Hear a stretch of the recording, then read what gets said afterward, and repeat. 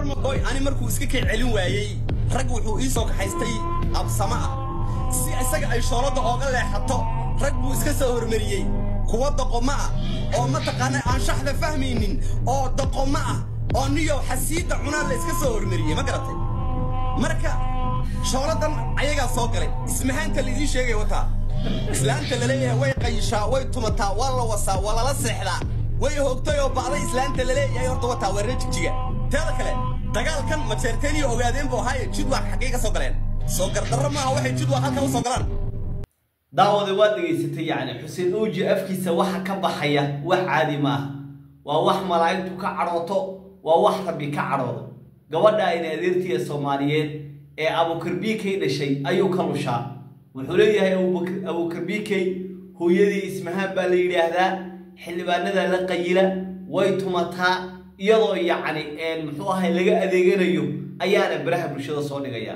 Innaa lilah wa innaa ilayhi raajicuun. Yacni dagaalkii meel xun buu gaadhay wuuna kululaaday. Raggiina dhaqan dumar bay yeesheen. Dumarka ayaa markay isqabtaan wax isku caayi jireen.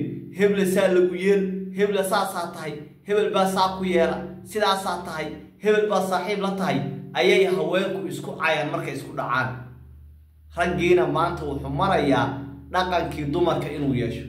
Dhaqankii haweenka inay yeeshaan ayuu raggii soomaaliyeed marayaa afar iyo labaatan saac waxaa la isku caynayaa waxay haweenku isku caayi jireen. Waa ayaan darro markaa ninkaa qolkaa halka mitira ayuu isku soo xidhay oo ka soo dhaxalaya afar iyo labaatan saac. Wuxuu ku hadlayaa wax malaa'igta ilaahay iyo rabbiba ka cadheeya ayuu ku hadlayaa waxaana yidhi isaga iyo sharma boy ayaa isku dhacsanaa. Sharma boy isagoo hadday isku dhacsanaayeen maantana waxay isku dhacsan yihiin niman isku deegaan ay ka soo jeedaan oo ay ilmo adeer yihiin oo absamo ay wada yihiin ayay isku dhacsan yihiin. Abukar b k isagaa ishaya abukar b k yacni isagaa maagay xuseen o g iyo abukar b k yaa gardaraa xuseen baa gardaran isagaa maagay yacni wuxuu ku haystaa sharma boy oo aan ishayno oo hees igu soo caayay maxaad saaxiib ula tahay? Maxaad abukaro ula socotaa? Maxaad yacni yacni sharma boy ka hadh waa tii ulaayaan hore sharma boy haddaad ka hadhi weydo hooyadaa baan ssoo qarxinaya. Qarxiskuu sheegayeyna islaantaas islaameed buu noo keenay. Gabadha islaameed ee uu leeyahay ismahaan baa la yidhaahdaa waa abukarbiikay hooyadii ayuu noo keenay.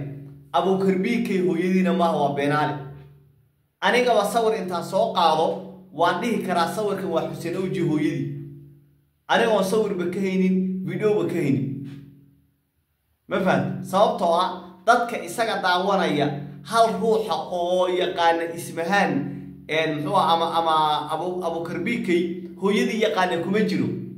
Commentiga markaad akhriso waad yaabaysaa. Commentiga marka aad akhriso waad yaabaysaa. Wuxuu taagan yahay teeda kale. Abukarbiikay hooyadii waa gogol hooyadii waa gogol qurba joogta xildhibaanada siyaasiyiinta iyo ruux kasta oo gogol dhaaf raba ayaa la qayila oo yacni muxuu ahay ay soo dhawaysaa buu leeyi arrintaasi waa khalad. Waa waxba kama jiraan. Waxba kama jiraan weeye. Beesha absame maxaan u abaaba iskuul ha ahaato jid waa qabsame waxaan u sheegayaa. Jid waa qabsame waxaan u sheegayaa. Ninkaa afkaa qarmuun beesha ogaadeen kuma matelo afkaa xuseen naguma matelo isagay gaal ku eg ku tahay isagay ku eg tahay qolkiisa labada mitira halka mitira ee uu ka soo dhex cabaadayo ayay ku eg tahay. Hadalka gafka ah ee gabadhaa soomaaliyeed ee gurigeeda joogta ee marwada ah ee reerkeeda dhaqanaysa uu leeyahay yacni way qayishaa ama way tumataa uu leeyahay hadalkaa naguma matelo jidwaaqow ka raalli ahaada cumaamad baa idin saaran hadalkaa waa hadal isaga gaar u ah. Annaga naguma matelo annaga haddii aan nahay beesha ogaadeen naguma matelo xaal iyo xumayn baan idinka siinaynaa. Xaal iyo xumayn ayaan idinka siinaynaa. Xaal iyo xumayn baan idinka siinaynaa.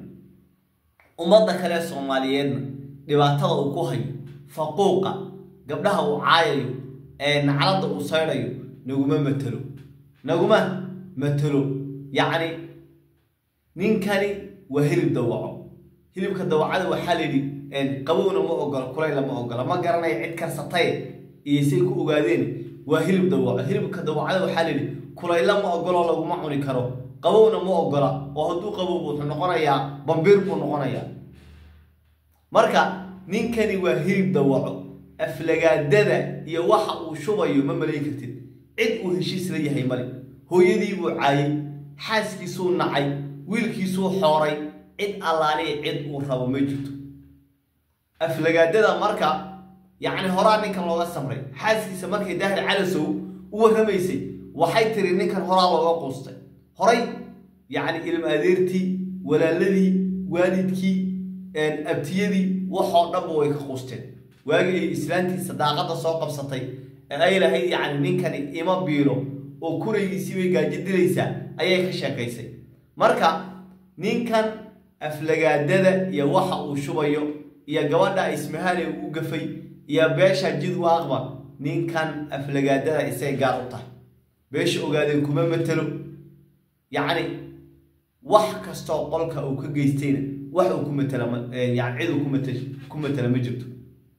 Intaa waa intaa iyo dagaalka u dhexeeya abukarbiikey iyo u dhexeeya xuseen waxaan u gudbayaa ninkii idris bebe ahaa dacwad ayuu ka gudbiyey xuseen oji safaaradda wuxuu yidhi weliba waxaan ka dacweynayaa oo dacwadda uu gudbiyey safaaradda jarmalka uu ku leeyahay dalka maraykanka waayo ninkani jarmalkuu soo maray tahriibka jarmalku ka soo bilaabay halkaas muwaadin ka soo ahaa documentiskiisa ay yaalaan xogtiisu ay taallaa safaaraddii uu jarmalka safaaradda dalka jarmalka uu ku leeyahay dalka maraykanka washington uu ku leeyahay ayaa laga dacweeyey xaaladiisa iyadaaba iska soo laga yaaba inay soo afjarantaba xaaladiisa inay soo afjaranto ayaaba suuragala waayo shalay isagoo durbe isbedelay oo leh sharmaboy waa ina adeerkay waa walaalkay waa fanaan waxba iskuma hayno wax muxuu ahaye talenti oo naga dhexeeyaa ma jiro isagoo leh ha iga raalli ahado ayaan arkay. Taasi waxay ku tusaysaa in uu dareemay in ummaddii soomaaliyeed ay dacwad ka wada gudbisay oo ninkani ay dacwo ku socoto ayuu dareemay. Dacwo inay ku socoto ayuu dareemay. Arrintaa yacni dacwada laga gudbiyey isaga unbaa kulley isaga isagaa sababay. Isaga ayaa isku keenay. Waayo soomaali waxaan ognahay dadka soomaalida ah markay maraykanka iska dhiibayaan ama yurub iyo qurbaha iska dhiibayaan waxay isku dhiibaan in iyagoo la baacsanayo la eryanayo in ay maraykan soo galeen in ay dad ka cararayaan inay dad ka soo cararayaan ayay sheegaan. Dad dilaya inay ka soo cararayaan ayay sheegaan. Marka yacni xuseen oji xataa waxaa la yidhi reerkii qabiilku isku dhiibay ilaa qabiilada yaryar baa la isku dhiibaa markii la isdhiibayo qabiilada yaryar ee la baacsado ee laga yaabo in soomaaliya lagu tunjilicsado ayaa la sheegtaa marka waxaa la leeyahay xataa qabiilkii uu sheegtay ayuu karbaashay. Oo afar iyo labaatan saac ayaa qabiilka uu dacwada yani isku dhiibay. Qabiilku isku dhiibay ayaa waxaa la yidhi afar labaatan saac uu caayaya. Qabiilkii laftoodii baa marka dacwada ka gudbiyey oo yidhi ninkani qabiilka uu sheeganayo ee uu idiin sheegtay ma aha. Haddii uu yahay waa ka caaye. Caddaankii baa loo shiday cajaladii marka hadda isaga xaaladiisa oo isagayba xaaladiisa oo ku jirtaa oo gabagabo ku jirtaa waxaa la yidhi nimaan dantii nimaan dantii aqoonin. Mara duuga horteed buu dhammaadaa yacni ninkani dantiisa ma yaqaano wax uu dan kale yahayna ma jirto.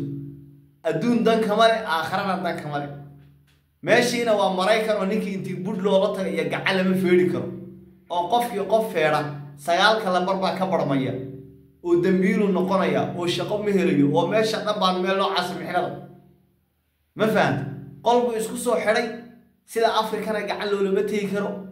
Ruu dadka shaksi buu caayayaa qabiil buu caayayaa shaksi buu caayayaa waxuu cafinaya mar.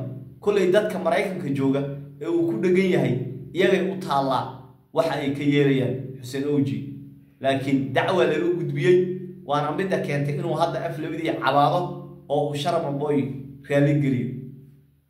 Intaasaan jeclaysta inaan la wadaago. Wasalaamu calaykum